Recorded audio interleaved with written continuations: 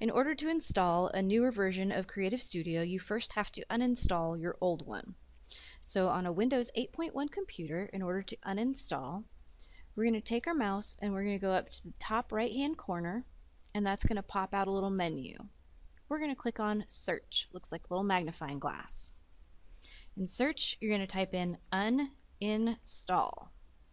And you'll see down here that uninstall a program comes up. Click on that.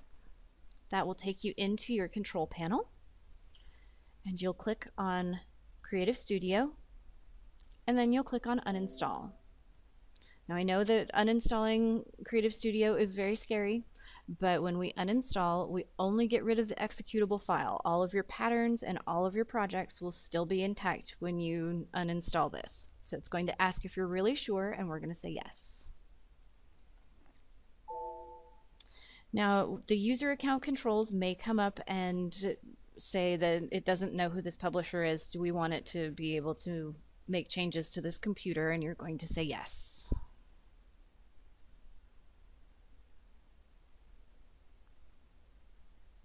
Okay, and then once Creative Studio has been uninstalled, once we have Creative Studio 6.0 downloaded to this computer, then we can go in and we can unzip the file and we can extract it and download it. And the first thing that we need to do is go to where we saved the file.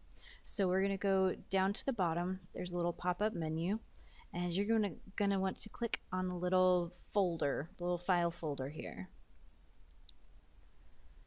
and this will bring up your PC. On the C drive, you're going to want to double click and you'll see your CS updates file right here. So you're going to double click on CS updates and you're going to see this Creative Studio 6.0.0 zipped file.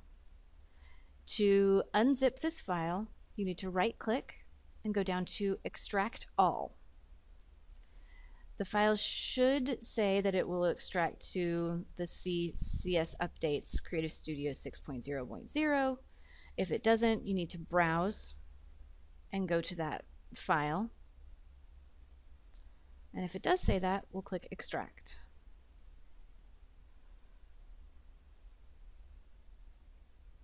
When it's finished extracting, the folder will open that says IS Setup Prerequisites and Creative Studio 6.0 Installer.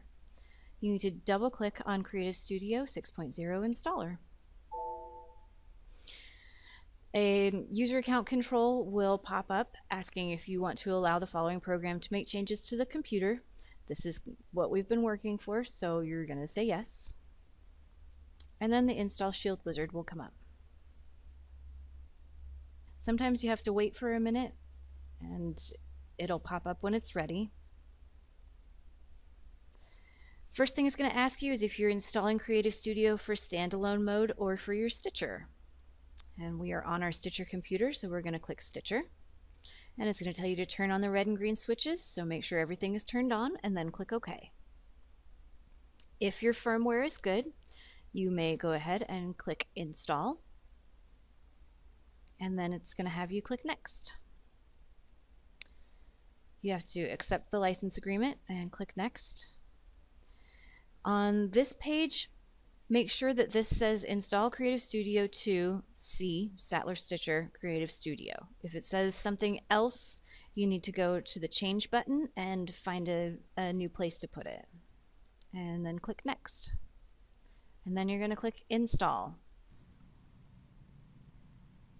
Here's where you need to remember that we made note of our controller type.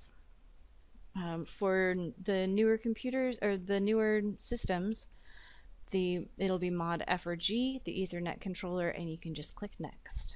So now we have completed the install, all we have to do is click finish.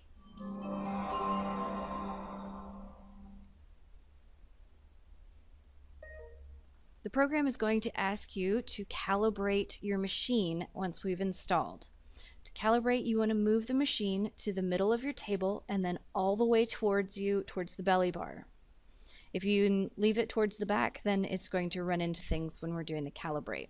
You also need to know that the needle is going to move. So if you have fabric on your table, you'll want to remove your needle and or you'll want to unthread your needle and remove your bobbin. When you're ready with that, you'll click Yes. When the calibrate all is finished, it'll tell you calibrate all successful and you can click OK. And then move your table to a repeatable table position and click OK. And congratulations, you now have Creative Studio 6.0.